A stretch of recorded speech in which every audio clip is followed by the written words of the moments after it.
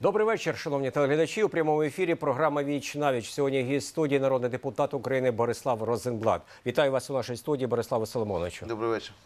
Е, Долучайтесь до розмови. І ви, шановні телеглядачі, е, номер нашого телефону 22 89 66. Зараз він з'явиться на ваших телеекранах.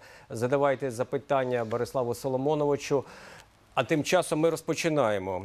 І хочу з найголовнішої теми минулого тижня це звернення президента до Верховної Ради. Е, От на вашу думку, як члена фракції блок Петра Порошенка, е, що вдалося президенту за цей рік і що ще попереду в планах? Ем, Дякую за запитання. Запитання таке ну, змістовне і тяжке, тому що дійсно, знаєте, таких хвалитися чи там думати, що ми щось зробили достатньо для того, щоб дійсно сьогодні мати який хрест, ну нема. І це відверто кажучи, президент е, зазначив в своєму виступі, коли він е, спитав, чи сам у себе, чи подобається йому робота Кабінету міністрів, він відповів ні. Чи подобається йому робота Верховної Ради, він сказав також ні. Чи подобається робота президента, він так сказав ні. Мені подобається, коли люди відверті і вони е, кажуть, ну, вміють аналізувати свою діяльність і вміють визнавати свої помилки чи не свої там не, не, Команди.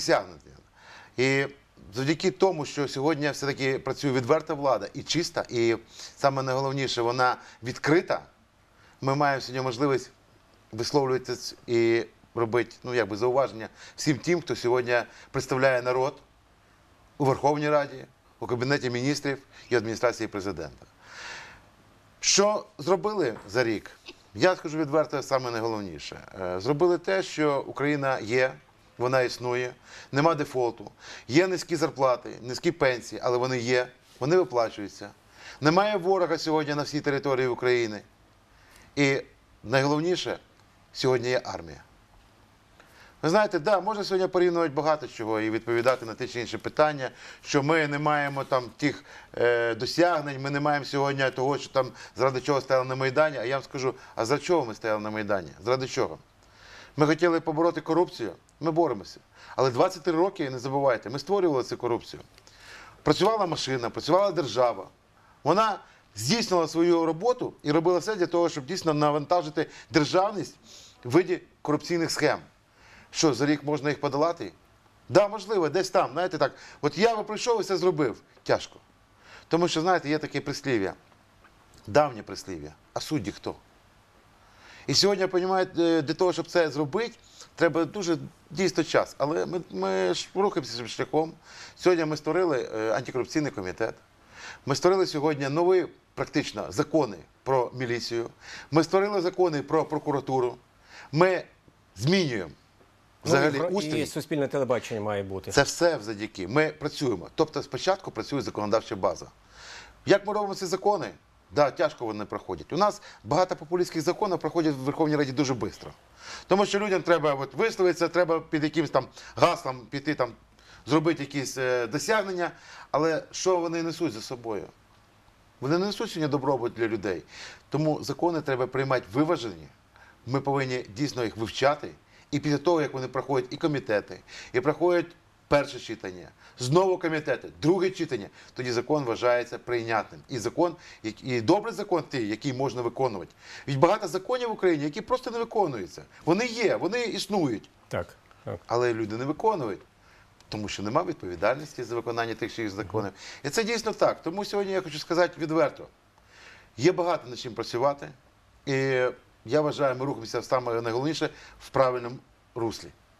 Бориславе Соломоновичу, а от як е, щорічне послання президента сприйняли, ну будемо говорити, е, народні депутати, депутати з опозиційних е, фракцій, навіть не, не тільки з опозиційного блоку, а з інших фракцій, які ну знаходяться, можливо, не в такій тісній співпраці з президентом і прем'єром. Е, Ви маєте на увазі, е, Ну, коли опози- президент з посмішкою сказав, що тяжко знаходиться е, в коаліції. Да? Так. Е, Перед початком е, виступу президента м, народний депутат Поросюк хотів вивісити е, плакат.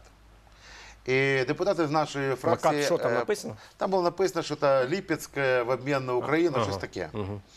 І депутати нашої фракції під- піднялись на балкон, для того, щоб дійсно не допустити. Тому що ну, виходить президент у- з країни, демократичної країни, демократично обраний, виступить перед депутатом і звернуться до всієї громади нашої країни. Так. Там є і посли, там є сьогодні багато людей, які дійсно сьогодні стежать за Україною.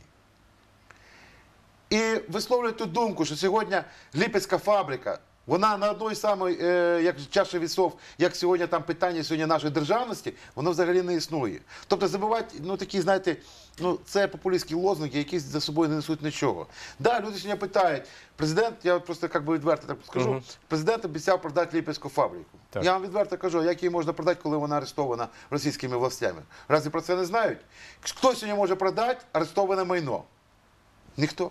У нас телефонний дзвінок є, Да. Бориславу Соломоновичу. Давайте послухаємо наших Таке телеглядачів. питання, чому народні депутати ніяк не можуть відмовитись від своїх пільг? Зокрема, в газеті було написано, що ви також, являючись багатими, одержували компенсацію за піднайом житла з бюджету. Дякую. Пільг, чому депутати не можуть позбавити самі себе з пільг? У нас немає ніяких пільг. Хто сказав, що у депутатів є Ну, от наш глядач сказав, що отримали депутати, і ви Депутати отримують, я в тому числі компенсацію- компенсацію за, за винайом житла в Києві. Вибачте, я живу в місті Житомирі. Я отримую депутатську зарплату 4700 гривень. У мене є статки свої. Я працюю сьогодні в Києві кожен день. Я не потребую сьогодні питань там, за проїзд, за пересування, за якісь там ще питання. Але те, що сьогодні мені держава Ну, виділила житло в, е, в готелі 18 квадратних метрів. Ну, вибачте, ну це така Зрозуміло. життя, і це моя робота. Якщо людина, почекайте, якщо сьогодні людина працює на підприємстві і їде в командіровку, їй що підприємство не сплачує за кому- е, командіровочний? Я працюю сьогодні в Верховній Раді. Я працюю сьогодні в Верховній Раді.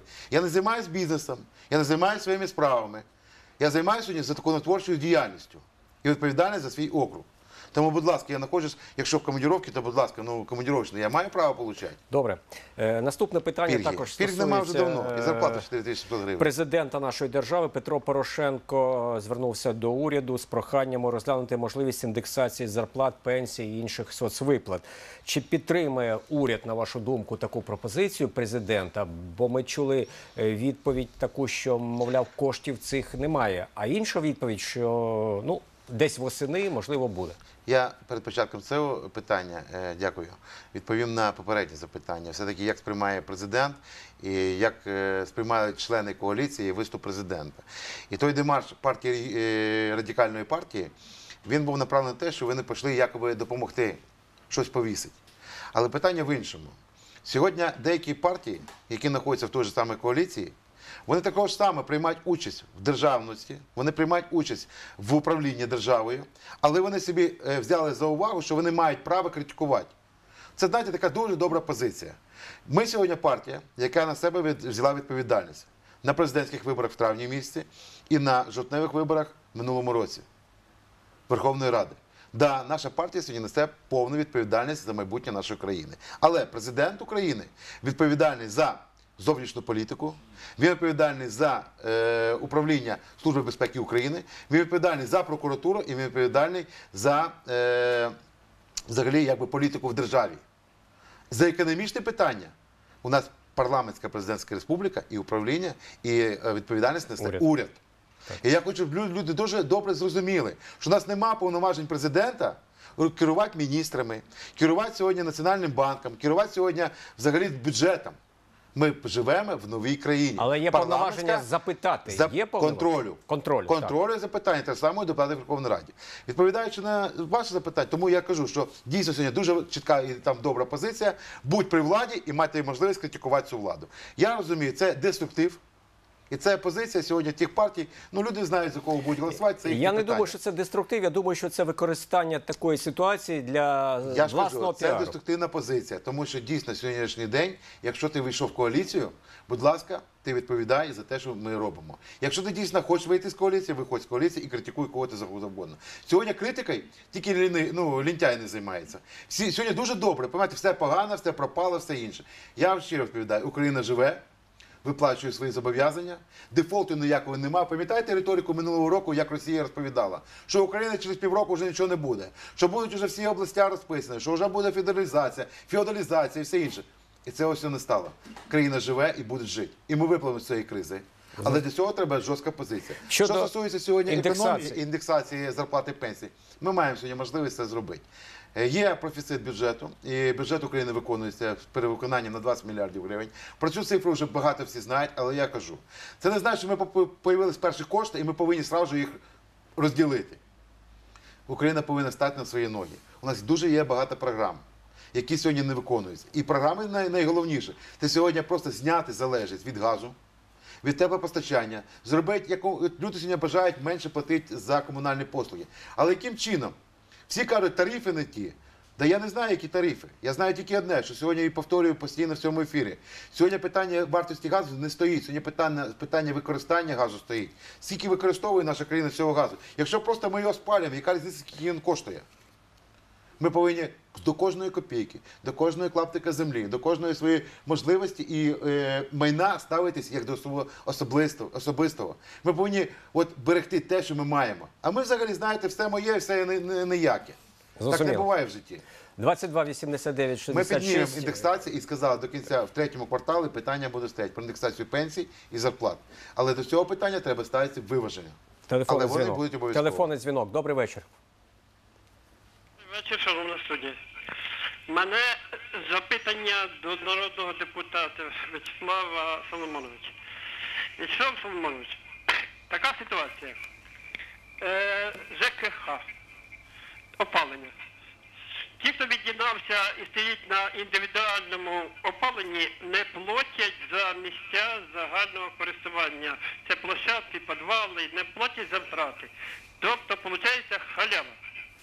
Е, Це питання не врегульовано законодавчо, тобто на обласному рівні воно не вирішується. Чи не зміг би ви, як народний депутат, виступити з законодавчою ініціативою або з депутатським запитом до нашого керівництва, щоб вирішити це питання, тому що різниця в оплаті становить до 30-40%. Все лягає на тих, хто не від'єднався, а ті користуються на халяву. І ясно що. Зрозуміло. Я вставляю свій контактний телефон, будь ласка.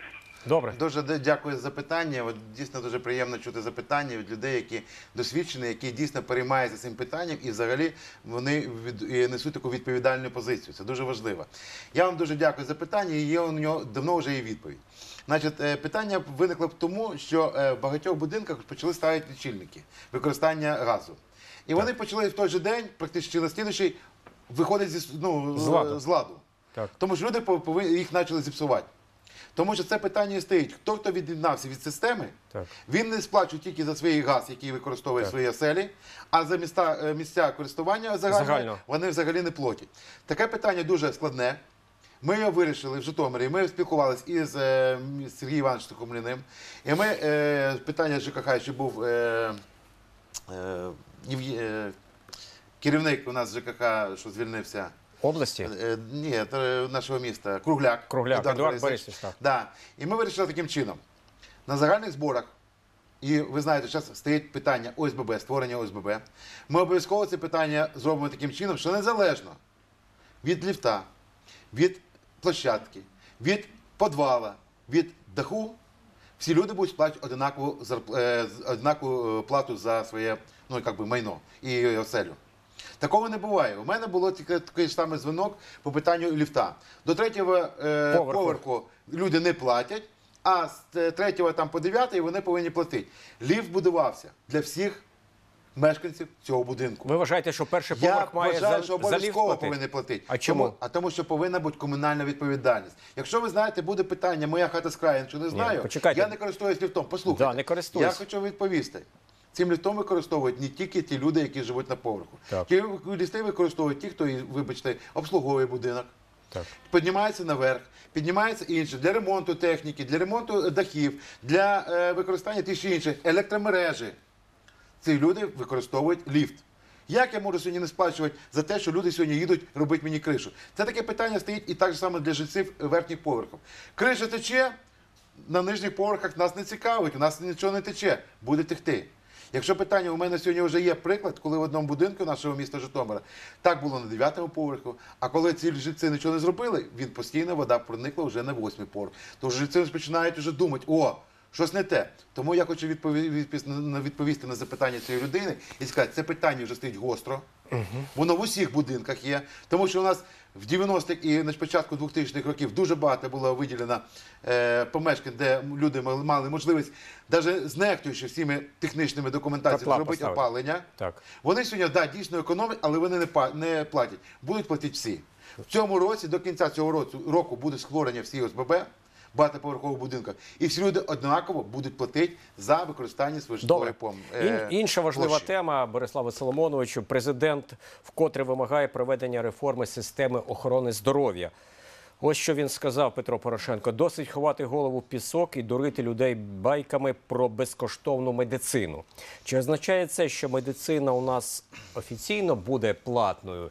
І хто ж гальмує ці реформи? Е, Сразу відповім на запитання. Гальмують реформи сьогодні медицина. Тобто працівники Тобто, ви знаєте, коли от е, я скажу, знаєте, е, мафію не можна победити, мафію Ну, можна возглавить, возглавити. да. У нас медицинську мафію возглавляє медицина. Це головні лікарі. І я не побоюсь, я знаю, які питання сьогодні стежать. Я кажу, це головні лікарі. Це сьогодні е, головний там в- доктора, За відділення. за відділення і все інше. Тому що для них є єдине джерело існування. Це продаж медикаментів, які і так безкоштовно виділяються державою, і вони другий раз їх продають уже пацієнтам. Друге питання: вони всі сидять на зарплаті у е, фірм, які виготовляють лік, е, препарати і Так, ліки так. фармацевтичні. Вони всім доплачують. І саме найголовніше, кожен лікар, головний, він залежить не від як він лікує людей, а від койка місця. Для нього дуже важливо, щоб всі люди багато лежали в в лікарнях. Так от, коли буде платна медицина, єдиним джерелом оплати медичної послуги це буде акт виконаних робіт. Коли людина здорова, вийшла з лікарні. Не тоді, коли тебе сказали, все, вже нема грошей, давай, до побачення. В якої лікарні сьогодні у нас безкоштовна є медицина? В якої лікарні сьогодні можуть дати укол? Не в жодної. Тому не треба себе дурити. Сьогодні питання стоматології. Хто, хто із людей хоч раз лікував зуб безкоштовно? Хоч одна людина ніколи в житті. Але люди знаходяться в світлих кабінетах, утеплених кабінетах, користуються державними е, препаратами, державними там устаткуванням і лікують за е, гроші, які йдуть в їх кишені, люд, людям е, зуби. Так не повинно бути. Якщо ти лікуєш, ти, будь ласка, сплачуй. А стомат, Сплачуй. стомат поліклініка не лікує, от державна стомат. А там виділяються кошти безкоштовно, але це на остру боль. Але інше все, от чотири поверхи, що всі е, лікують гостру боль, яка виникає у людей. Ні. Це просто медицина, найголовніша наша е, межа, де є корупція. А корупція, розумієте, не треба шукати корупцію, що чиновник бере гроші. Корупція і то, що коли ми навіть той медсестрі даємо кошти. Але ви, я сподіваюся, раз не може медсестра сьогодні жити за 2 тисячі гривень. Чи за 3 тисячі гривень. І вона вимушена це За робити, тому що гривень. вона повинна жити, вона повинна йти додому. Та я хочу, от, знаєте, от, саме головне, будь відвертим і будь правдою. Так от правда заключається в тому, що я за платну медицину. Але яку платну медицину? За страхову медицину. Кожна людина, сплачуючи податки, а ми всі платимо податки, вона повинна знати, що частина цих грошей йде на сплату її медичної страховки. Потім вона приходить до е, лікарні, ну, лікарняного там, закладу. Вона хоче отримати ту ж саму послугу, і вона її отримує. І повторюю, кінцем оплати стає не чек, не кишеню грошей, а акт виконаних робіт. Після цього вона передає цей акт в компанію страхову, яка повинна їй сплачувати чи не сплатити ці кошти. Так працює весь світ. Така медицина сьогодні є в Німеччині, в Японії і у всіх країнах. І скільки там років життя прожитковий мінімум? 70, 80, 90. Тому що люди розуміють, що до свого здоров'я треба ставитися дуже уважно і не ждати. А сьогодні я багато людей бачу, які сьогодні не мають грошей, і вони не йдуть лікуватися. Вони розуміють, що сьогодні у них не вистачає коштів для того, щоб піти купити там пілюлі там чи інше питання. Спасибі, телефонний дзвінок. Дякую. Зараз послухаємо відповідь. Запитання, перепрошую. Добре? Шановні народні депутати, коли ви говорите про медицину, ви не сказали жодного слова про пенсіонерів, які мають самі найменші пенсії у світі. Це 949 гривнів. Про яку платну медицину сьогодні може говорити депутат, коли мільйони пенсіонерів на межі виживання? Прошу дати вашу відповідь. Дякую за запитання. Теж влучна відповідь. Просто це друга частина моєї розмови. Так. Е, страхова медицина незалежно від повтор- повторюю людей, де вони що працюють. Якщо ти сьогодні людина, яка працюєш, ти платиш податки, і в цих податках є оплата медичної страховки. Якщо ти сьогодні держслужбовець, і у тебе держава, роботодавець, сплачує держава твою медичну страховку. Якщо ти пенсіонер, пенсійний фонд зобов'язаний сплатити цю пенсійну страхову е, ну, Внесок страхов- де внесок. Пенсійний фонд. Я ще раз хочу просто повторити. Ми платимо ці кошти. Я точно не можу просто не хочу в ефірі просто ну, казати неправдиву інформацію. Я не знаю, скільки сьогодні в бюджеті обласному Житомирської області є коштів заложено на медицину. Але я знаю 100% це мільярди гривень. Це оплата лікарів, це оплата медичного остаткування, це забезпечення там тих чи інших питань. І ми так і інакше платимо наші всі податка, ну, е, платники податків, вони і так сплачують ці гроші. Але це йде так же само, як, ну, як адресна допомога. Я просто переводжу зараз на субсидії, які сьогодні ми маємо для використання там оплати за газ. Якщо сьогодні ми оформляємо якісь субсидії, як вони розподіляються? Це питання задавав прем'єр-міністру. Непрозоро. Люди якби опять отримали, у них немає грошей, вони написали якісь бумажки. Якісь мільярди гривень, ефемерні, 21 мільярд гривень, підуть на оплату якогось Нафтогаз Україна. Субсидії. Субсидії. Я тільки ще раз повторюсь за адресну допомогу. Якщо людині сьогодні не вистачає 250 гривень чи 300 за плату газу, прийди в соціальну службу і получи це недостаючу різницю. Отримай її на свій власний рахунок і сплати. І тоді ти зрозумієш, що ти отримав субсидію, і вона використана це можливо втілити, це можливо. Ви що- розумієте, оце питання, яке гальмує. Ви казали про реформи, так воно і є на сьогоднішній день питання. Що питання сьогодні реформ гальмується на місцевому рівні. Люди не хочуть мати прозорий. Не хочуть прозорі правила грати. Їм подобається, коли мутна вода. І вони роблять все для того, щоб була далі мутна вода. Вони виходять, розповідають про гасла, але насправді нічого не відбувається. Буде. І я ще раз хочу просто сказати пенсіонерам: за вашу е, медичну страховку повинна сплачувати пенсійна, пенсійний фонд. Ну, вони не проти, Він аби так, прав- було. Вот. Ми на це кошти виділяємо, і в бюджеті це кошти є. Тому сьогодні мені прикро, що люди отримують 200 940 гривень. Але незалежно, скільки ви будете отримати завтра, 2 тисячі, 3 тисячі гривень. Повторюю, у вас в кишенях, при тому, що ви повинні пере- перейти поріг лікарняного е, закладу, ви не маєте права нікому платити ні копійки грошей. Ви повинні просто отримати ту послугу, яка вам положена державою. Зрозуміло, ну це можливо втілити, чи це тільки от е, ваші Це мрії? Коли це не моя мрія, це медична реформа, яка гряде. Вона іде. І я вам скажу більше. Я являюсь одним із співавторів цієї реформи, і ми будемо дійсно її займатися. Це питання стоїть у президента під номером один. Бо здоров'я людей це здоров'я нації. І це основа нашої державності.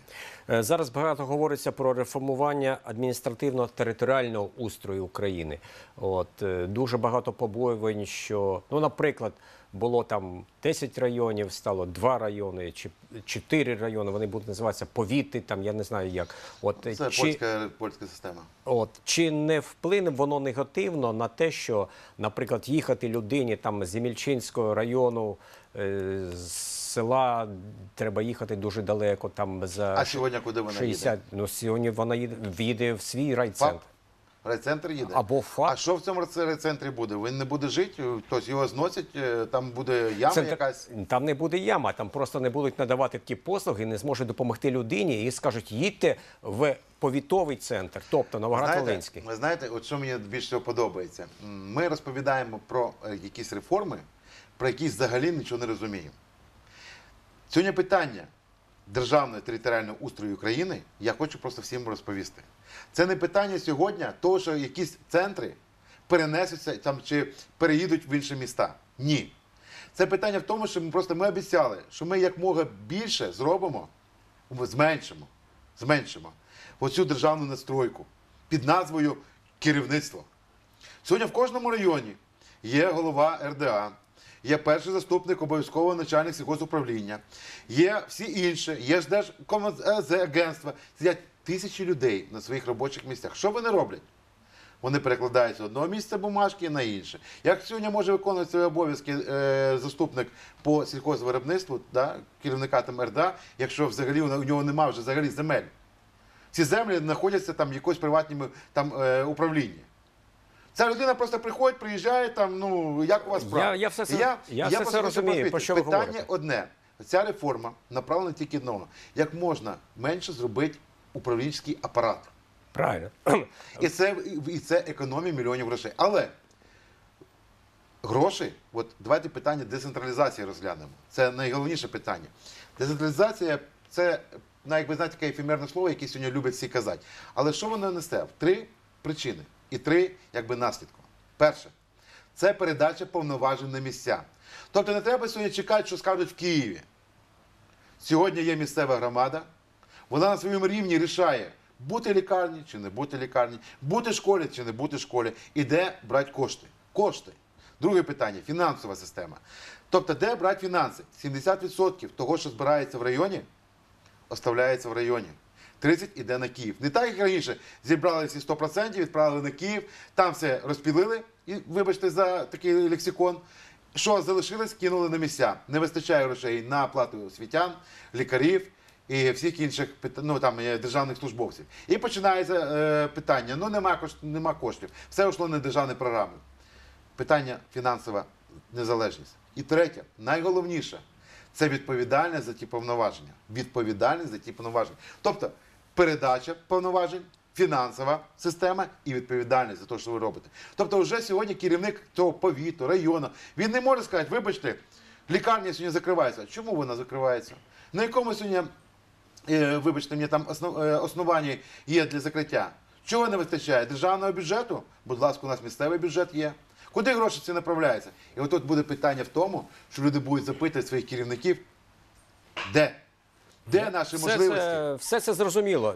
Ви Я думаєте, не, я не хвилююсь за те, що нас район, з тої районів стане менше. я Борислав взагалі не хвилююсь. Люди не проти того, що ви говорите, і це людям на користь. Але якщо сьогодні людина може отримати якусь послугу, поспілкуватися, прийти на прийом до того ж керівника у своєму районі, тепер вона му- змушена буде їхати до повіту, де будуть з різних районів, які будуть ліквідовані, і чиновники скорочені. Будуть приймати людей набагато більше. Чи то достукається ця мені, будь людина? ласка, я хочу ще раз от вам відповісти. Люди багато їздять, вони щось вирішують. Якісь питання держави вирішують. От я вам просто розповім, як у мене. Я, як народний депутат України, постійно звертаюся до тих і інших органів. Що я отримую е, назад? Відписки. А зараз не буде. Вже. А зараз не буде, тому що людина сьогодні має повноваження на місцях. Ти до неї приходиш і питаєш: мені треба вирішити таке, таке, таке питання. Так і зараз так можна зробити. Прийти і сказати, мені треба вирішити таке питання. А, а що завтра зміниться? Так от я ж про це і питаю. З Любарського району прийдеться їздити Чуднев? Чи з Чудного прийдеться їздити там е, в інше там місто? Так. Так, ну, ж- ну, так що станеться? Треба буде приїхати на 20 кілометрів далі? Ну добре. Але п- я ще раз хочу, п- щоб ви зазначили, грошей на місцях буде набагато більше. Телефонний дзвінок у нас. Телефонний дзвінок. Добрий вечір. Алло. Добрий вечір. Добрий день. Скажіть, будь ласка, е, таке питання. Вже 25 років я живу з жінкою. І жінка інвалід першої групи. Пільгів в неї немає на світ, на газ. Інвалід першої групи Чого немає? з дитинства. Я доглядаю і отримую 16 гривень по догляду. Я не маю права ні відпускні, ні на больничне. Кругом треба платити стопроцентово. Е, І хліб треба е, купити, і все. Чому Даже, пільг, чому е, пільг немає? Чому пільг немає? Для Я не знаю, чого пільги немає. Інваліди я першої групи у нас мають депутата же пільги? звертаюся, чому пільг немає. Інваліда першої групи на коляски. Такого немає. Ну давайте Мені вже стидно, дайте здорова ваш людина. телефон. Я думаю, що Я помічники Борислава е, Соломоновича розберуться. Сказати для всіх депутатів стид і позор. Я, Дай, я е, хотів би почекайте, почекайте. телефон залишили Ні, у нас. е, Це обов'язково, де я хотів би, щоб ця людина передала. Ви знаєте, мені дуже так прикро, коли постійно кажуть, це стид і позор для депутатів Верховної Ради. Да я ще раз повторюю: депутати Верховної Ради закони пишуться добре. Хто виконує ці закони? Як вони виконуються? Це питання сьогодні на місцях. Це не питання сьогодні, того, що депутати такі сякі, вони щось забирають. Якщо ми навіть забираємо сьогодні, що ми забираємо? Є перша, друга категорія інвалідів. Є групи інвалідів. Але є багато людей, які взагалі просто там зробили собі корочки, чорнобильців Так. і інших питань. І вони використовують ці пільги і користуються їми набагато більше. Тому сьогодні стоїть питання адресної допомоги. Кожна людина повинна мати не загальні якісь там державні е, пільги чи не пільги, а мати можливість отримувати адресну допомогу. Якщо ти інвалід першої групи, якщо тобі щось не вистачає, ти приходиш в соціальний свій там працівнику Це і з ним окремо вирішуєш своє питання. І немає такого, що ми там розглянемо, переглянемо і все інше. Да, розглянемо який час? 10 днів, не більше. Тому я просто відповідаю, то, що немає сьогодні ніяких пільг по першої там категорії інвалідності, я взагалі просто дивуюсь. Будь ласка, телефон цієї людини. Ну, можете, Да, просто якщо щоб- людина дивиться, залишити Да, телефон будь ласка, вашого да, дайте ваш е, телефон, дайте, будь ласка, вашу адресу. Тут сидять мої помічники, вони запишуть адресу і будемо виясняти це питання. Але такого не може бути. Добре, наступне питання також викликає чимало дискусій у суспільстві. Е, Одні переконані, зокрема як Юрій Луценко, лідер е, Нашої партії. вашої фракції в Верховній Раді, що потрібна повна блокада окупованих територій Донбасу. Інші вважають, що у випадку блокади Україна вже ніколи не поверне не тільки територію, а цих людей. Тобто вони не будуть е, хотіти жити після того, як ця територія знов відійде до України. Будемо на це сподіватися в нашій державі. Ваша точка зору. Моя точка зору, я розділяю точку зору, яка я сказав наш президент. Не тому, що він лідер нації там, чи на так що також саме нашої партії, фракції. а тому, що е, не фракції е, нашої Партії, партії. партії. А тому, що на сьогоднішній день е, він дійсно правду каже. Неможливо сьогодні кормити тих, хто стріляє сьогодні по нашим людям, хто сьогодні стріляє по нашим містам, хто сьогодні дійсно робить ту чи іншу, ну вибачте мені, вибухову ситуацію на Україні. Я розумію, сьогодні дуже тяжко різати по-живому. Родини, які живуть там на Донбасі, вони між собою як паутина. Вони пересікаються, перетинаються, у них багато дуже спільного. І сьогодні дійсно розмежувати це дуже тяжка ситуація. Але я не боюсь того, що дійсно ми не повернемо ці території. Вони самі повернуться Людей не поверне. повернуться. Тому що сьогодні, по-перше, ми хочемо змінити їхню ментальність, ми хочемо змінити їхнє уявлення. Вони завжди знали одне, що Донбас ніхто на коліна не поставить, Донбас кормить всю Україну. Будь ласка. Він кормить всю Україну, то тоді не кормить Україну. Ми згодні, щоб сьогодні нас ніхто не кормив. Але як ми сьогодні можемо поставляти їм хліб, воду, Їм, все інше? їм це кому? Це те, тому населення, і там же не все населення. Я розумію вимушених людей, які сьогодні не можуть Я просто да. уїхати туди. Я це Вони вимушені там робити. Але сьогодні у нас на е, містах зроблено все для того, щоб вони отримали свої пенсії, щоб вони приїжджали до нас і получали. Але ми не згодні з тим, щоб сьогодні терористам поставляти все, а потім вони там будуть жирувати і будуть стріляти по наших містах. Я взагалі вважаю, це тимчасова міра, вимушена міра, але вона сьогодні на часі. У нас рік не було цього. Що ми породили? Ми породили перше все корупцію. Сьогодні перетин цієї машини, там цього там якогось кордону, який є тільки в уяві, стоїть 100-150 тисяч гривень. Так. Тому ми сьогодні хочемо припинити цю корупцію. Ми хочемо незаконну контрабанду, контрабанду обмін товарами, тому що дуже багато сьогодні контрабанди постачає ЛНР уже в Україну. І ми хочемо одне, щоб люди зрозуміли, що Україна хоче миру. Я скажу, скажу відверто, а от ситуація в Ізраїлі, там те ж саме є палестинська автономія. Там є шестиметровий забор. Так от, після, після того, як вони вклалися в цей забор, обстрілів Ізраїля в 10 разів стало менше. Не дають можливість терористам потрапляти просто на територію України. У нас кожен день вибухи в Одесі, в Харкові, в інших містах. То в Житомирі знайшли гранати, то в Києві знайшли гранати. А підпал цієї навіть нафтобази, яка сьогодні горить вже третій день. Ви думаєте, що це підпал? А я вважаю, звісно, це підпал. Тому що ну неможливо так розумієте, щоб одна цистерна. Це може ну яка бездарне управління. Чи ну я вважаю, це диверсія. Телефонний дзвінок, Бориславу Соломоновичу. До вас запитання. Добрий вечір. Слухаємо вас. Добрий день, Добрий день. добрий вечір. Б- Б- Борис Семенович, Слухаю вас. Я слухаю вас. Говоріть, будь ласка, голосніше. Зробіть голосніше в студії. я е, Омелянчук Михайло Олексійович приходив до вас два рази на прийом на счет сина, пам'ятаєте?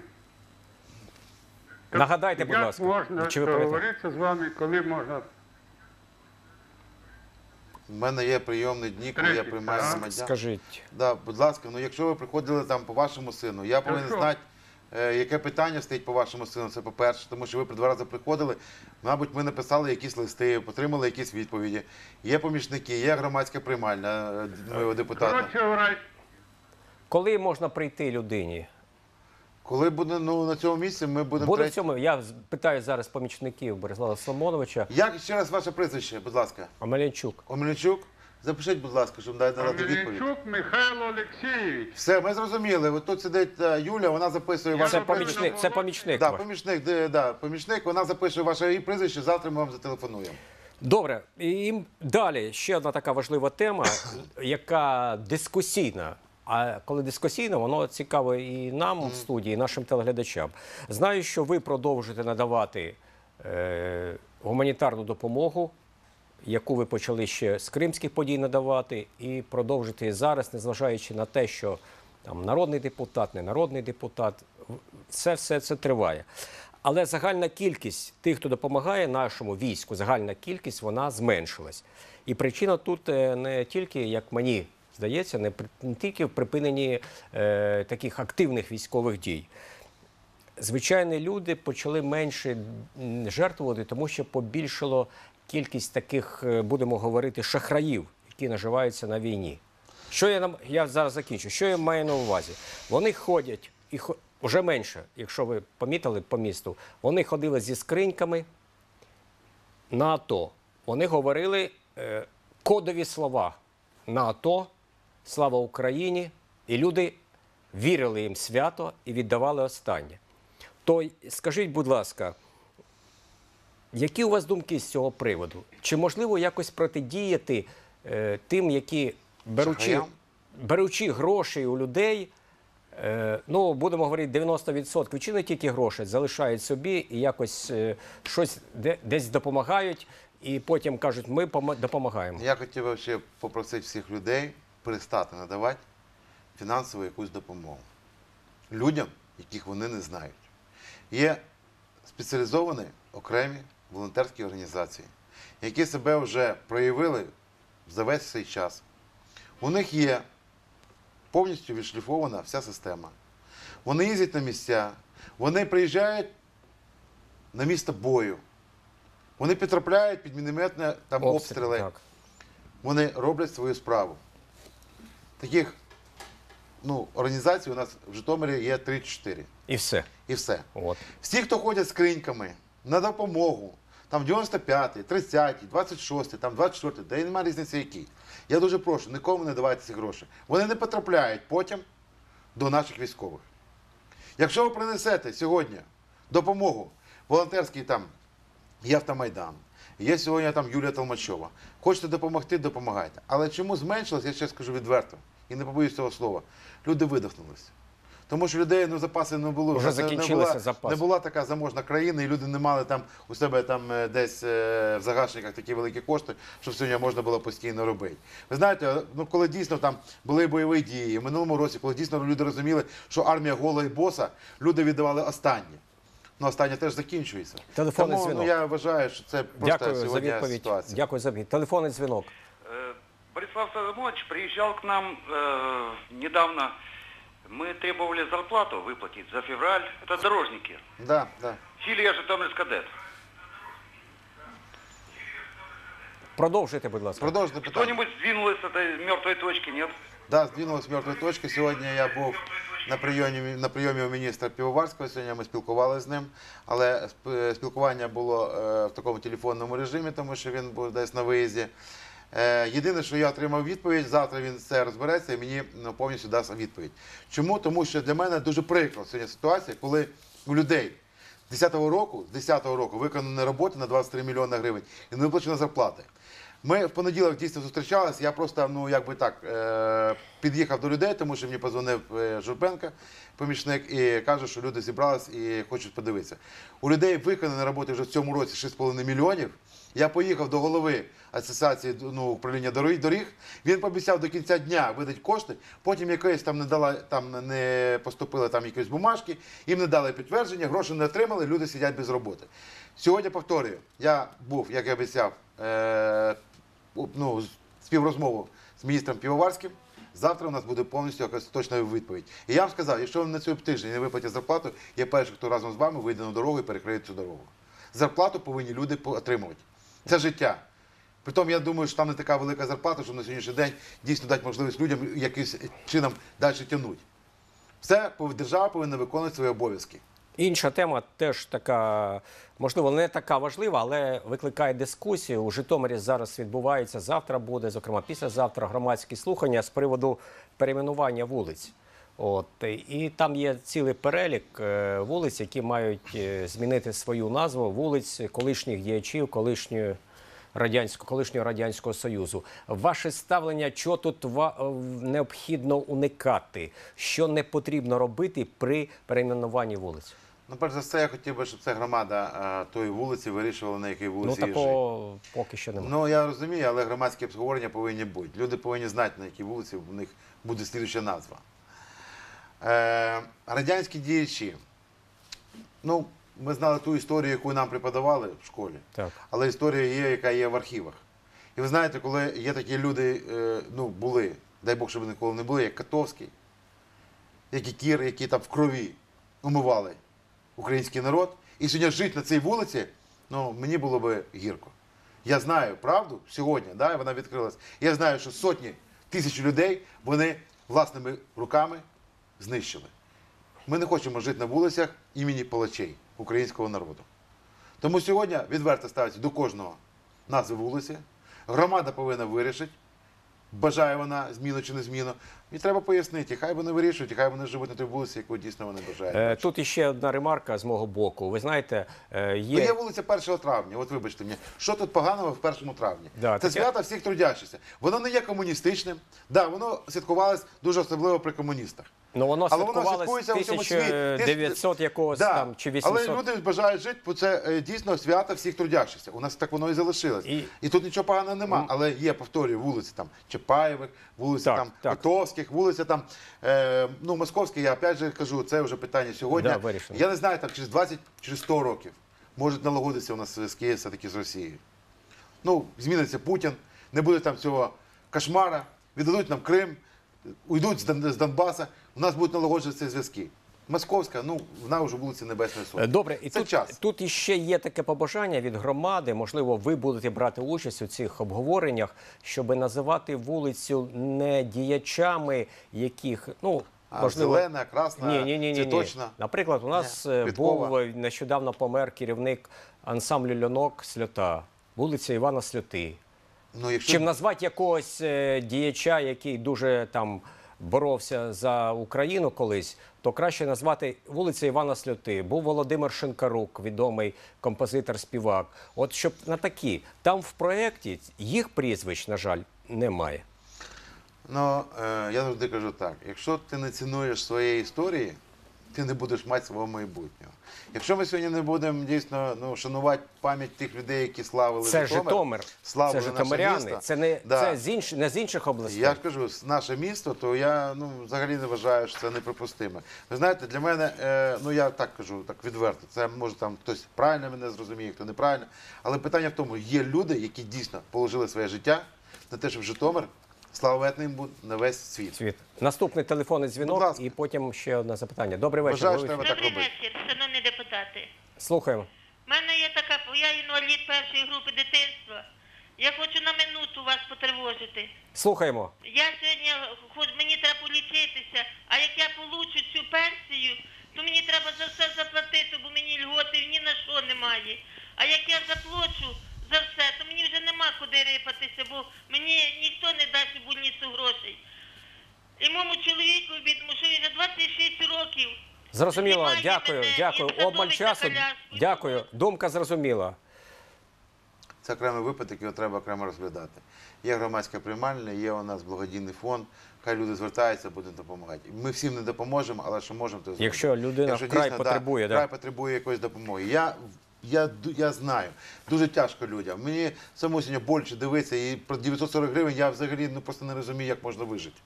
Але я кажу, ми платимо своєчасно ту пенсію мінімальну. В третьому кварталі, ну, в второму півріччі, ми будемо переглядати цю пенсію. І вона буде мати індексацію. Але я хочу, щоб держава ставала на свої ноги. У нас дуже багато зобов'язань, у нас дуже багато валютного кредитування. І що сьогодні ще окремо скажу, шановні, ви зрозумієте одне: 92 мільярда гривень це більше, ніж пенсійний фонд. Ми сьогодні витрачаємо на обслуговування державного боргу. Сьогодні йде реструктуризація цього боргу. Сьогодні все роблять для того, щоб дійсно є. І ми сьогодні отримали перший позитивний крок. Сьогодні Міжнародний валютний фонд сказав, що він буде далі продовжувати кредитувати Україну, незважаючи на те, що ми зробимо реструктуризацію чи не зробимо. А чому таке йде серйозне питання? Тому що Україна сьогодні потребує не тільки сьогодні там реструктуризації боргу, а списання його частково. Тому що ці гроші пішли кишені казнокрадів, які сьогодні всі знаходяться там же за кордоном. Вони живуть сьогодні в той же Європі. Вони сьогодні живуть багато людей Добре, в Росії. дякую. Тому це дуже важливе питання. Ми, Ми з цим боремося. упродовж цієї теми е, минулого тижня е, депутати, ви зокрема, дали згоду на притягнення на зняття депутатської недоторканності двом вашим колегам Сергія Клюєва і Сергія Мельничука. Ну, Сергієм Клюєвим, е, хто не знає, скажу, що це регіонал, брат коли одного з поплічників Януковича, який був е, тут, ну, якби Це людина, яка казнокрад. Да. Отак кажуть Тут- просто. тут- це людина, яка вкрала в Україні мільярди гривень. як бути Вона використовувала зелений тариф, вона використовувала якісь підприємства, вона підставляла. Да, мені прикро те, що не знайшли нічого більш свіжого, ніж 2007 року якусь історію. А що, а що робити з Мельничуком? Це ж бойовий офіцер, командир Айдару, і потім такі звинувачення. Як Ви знаєте, я скажу відверто. Ми голосували за зняття недоторканості Сергія. І я вважаю таким чином, якщо людина чесна і відверта, і бойова, вона повинна не боятися сьогодні відповідальності. Якщо сьогодні його звинувачують в тому, що там були питання і ну, якогось там мародьорства, насильства, все інше, людина повинна відповідати. Незалежно, носиш ти погони чи ні. У нас сьогодні в Житомирі тисячі людей, які воюють в нашій армії. Але це не дає сьогодні права нікому мародерничати на тих територіях. Я розумію, для кого війна, для кого мать родна. Ми не дали можливості його притягнути, ну я до арешта та затримання. Ми дали можливість, щоб людина просто приходила до суду і відповідав за свою діяльність. Я вірю в те, що він не зробив тих там, ну, що в чому звинувачують? Так, так. Нема на ньому цього криміналу. І я знаю, що чесне ім'я він своє відстоїть. Але я хочу, щоб всі зрозуміли, депутатська, депутатський мандат не є індульгенцією від правосуддя.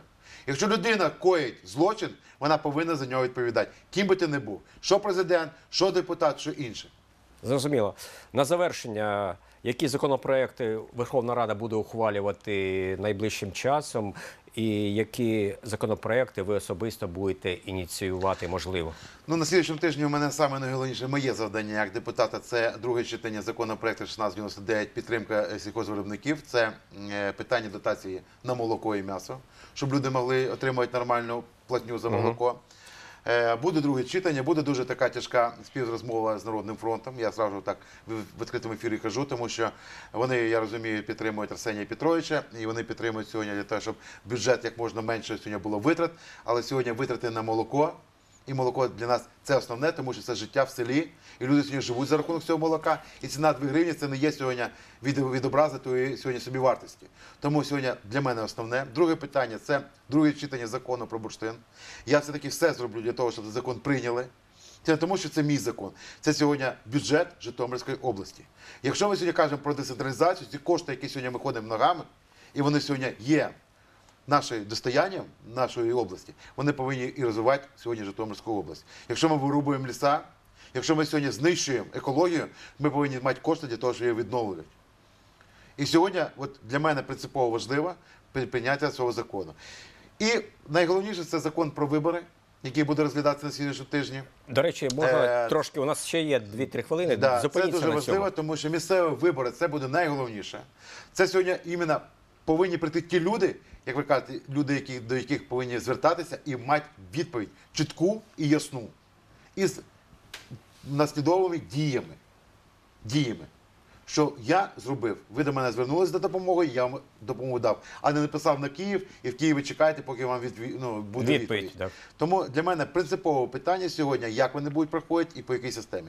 То, що я сьогодні бажаю бачити, це мажоритарна система по відкритих списках. Люди повинні мати і бачити, за кого вони повинні голосувати, і мати можливість за ту партію чи іншу голосувати, і вони повинні знати в лице того людину, яка, буде відповідати за їхній округ. Це дуже важливо. Це про місцеві вибори районних та обласних рад. Селищний у нас буде видвиження громадами, то громада вирішила. ту чи іншу людину видвинути на сільського голову, вони повинні розуміти, що ця людина буде відповідати за їхнє подальше життя. Е, Що ви хотіли сказати на завершення нашої програми? Можливо, з якимось е, словами звернутися? Адже ви були тут, по-моєму, місяць тому в нашій студії. Час так е, швидко летить, і можливо, вже і слова інші треба на завершення говорити. Ви знаєте, я хочу перш за все вибачитися перед е, виборцями, перед народом України за те, що ми дійсно сьогодні не доробляємо. Сьогодні дуже багато питань, законопроєктів, які сьогодні просто лежать в Верховній Раді і вони лежать без розгляду. Тому що дійсно дуже багато ми сьогодні уваги приділяємо якимсь популістським там заходам. Оце от, що мені коїть. Ми сьогодні дуже мало уваги приділяємо економіці нашої країни. А я завжди кажу: робочі місця і забезпечення людей роботою є основа нашої держави. Тому це перш за все, я хотів би вибачитись. І просто ще вибачитись за те, що дійсно ми ще не зробили індексації пенсій і зарплат державослужбовцям, не зробили можливості всі для того, щоб бізнес процвітав і розвивався, і не зробили і не визнали ворога з нашої території. От це за це вибачитись. Що хотів побажати, я єдине, що прошу. От я розумію, що тяжко чекати. Але дуже чекати сталося мало. Не тому, що погано живемо, а тому, що є багато вже напрацьованих законопроєктів, вони вже стають законами, і люди повинні виконувати. І саме і ще найголовніше, боротьба з корупцією вже почалася. Відверто почалася. І наслідки дивіться, будь ласка, уважно. Будуть і громкі посадки, але не такі, що взяли в прямому ефірі людину, через два часа її випустили, і де суд, і нема суду. Тому я кажу, все йде поступово, все йде по якомусь шляху, і ми йдемо саме головне правильним шляхом. І перемога буде за нами. І ще найголовніше, хай Бог береже нашу Україну. Дякую, Бориславу Соломоновичу, за участь у нашій програмі. Борислав Розенблат, народний депутат України, відповідав на ваші і мої запитання. До нових зустрічей в ефірі. До побачення. Нехай щастить. До побачення. Дякую.